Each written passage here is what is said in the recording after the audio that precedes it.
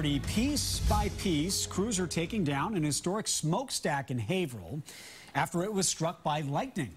That lightning created a split down the brick smokestack. More than 120 people had to evacuate their homes and now have to wait for that smokestack to come down.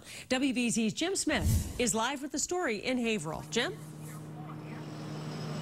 Liam and Paula, uh, not too long ago, we got an update from the fire chief, and he says as many as 100 people remain out of their homes and will remain homeless, if you will, temporarily, at least until this chimney is lowered to a safe height. And by the looks of things, that could take a while.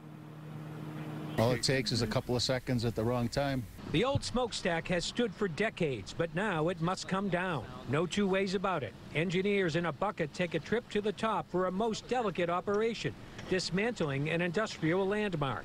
Sunday's lightning bolt blasted bricks everywhere, sending them to the ground, weakening the smokestack, creating potential danger. The concern, if it was to collapse and if it was to fall a certain way altogether, we have the height of the chimney could be the collapse zone. This was the scene as that huge storm swept through Haverhill on Sunday.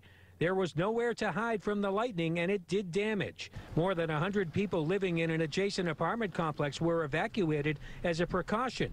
Even those who weren't forced out are a bit uneasy. Are you worried about those bricks possibly? Uh... Yes. My, my windows are very close. Um, I know they have the radius down and stuff like that, but I'm one apartment away. A little nerve-wracking? Very nerve-wracking. The Hamel Leather Complex is a piece of the city's manufacturing history. At one time, the company was one of Haverhill's largest employers, but now a piece of that past will soon be just a memory. This was at one time one of the largest shoe factories in the whole world, Hamel Leather Company. And uh, this was a symbol. So we're very sorry to see it go, but safety has to come first.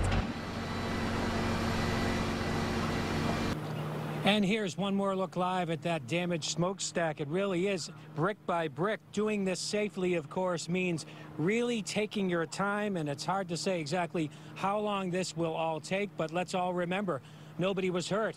That's the great news. Live here in Haverhill, Jim Smith, WBZ News. You're right